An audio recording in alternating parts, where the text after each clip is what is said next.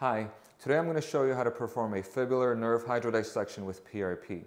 I am Dr. Sebastian and I am one of the instructors at the American Academy of Orthopedic Medicine. The patient has a foot drop from an injury to the sciatic and fibular nerve. The fibular nerve is a branch of the sciatic nerve that travels down here and crosses the fibular head. It innervates the muscles of the leg that lift the foot or dorsiflex the foot. When there's an injury to that nerve, the patient cannot move that foot and therefore develops a foot drop. So what I'm going to do is I'm going to identify the fibular nerve on the ultrasound and we're going to inject PRP around the nerve to release any entrapment of the nerve and also stimulate regeneration of the nerve uh, by using the growth factors from the PRP. The patient is positioned so that the ultrasound is in front of her knee and I am behind her knee. And that allows me to see the fibular nerve and also to look at the ultrasound while I'm performing the procedure. So the fibular nerve is on the middle of the screen right here, and it is a branch from the sciatic nerve. You can see this is where the sciatic nerve is, and it branches off. So you can see the fibular nerve. It runs right next to the bicep femoris tendon. And then as I move farther down, it's going to cross the fibular head.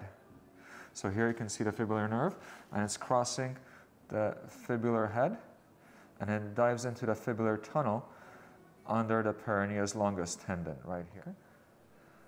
So the fibular nerve is in the middle of the screen. You're seeing the needle coming towards the nerve on the left side, and the nerve is sitting on top of the fibular head. So here's my needle, and I'm injecting while I insert the needle. So there's a jet of fluid preceding my needle tip.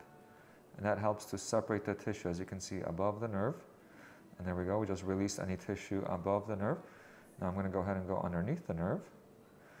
Again, always injecting the fluid in front of my needle.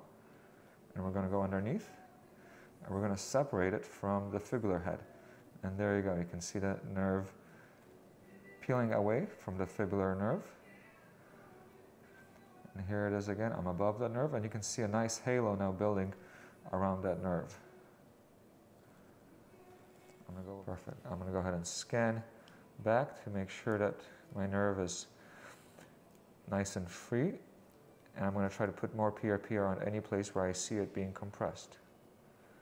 So as you can see in the middle of the screen, the nerve is surrounded by a halo of the PRP.